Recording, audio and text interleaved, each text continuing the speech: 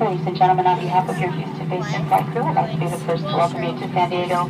The local time is approximately 1.32. We will be taxiing for a few moments, so please remain seated until the captain has turned off the fasten seatbelt sign and refrain from smoking until you are in a designated smoking area.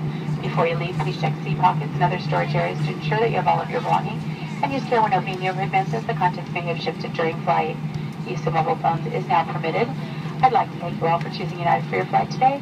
We realize that you have a choice of airlines and we appreciate your business. Have a great day in San Diego or wherever your final destination may be.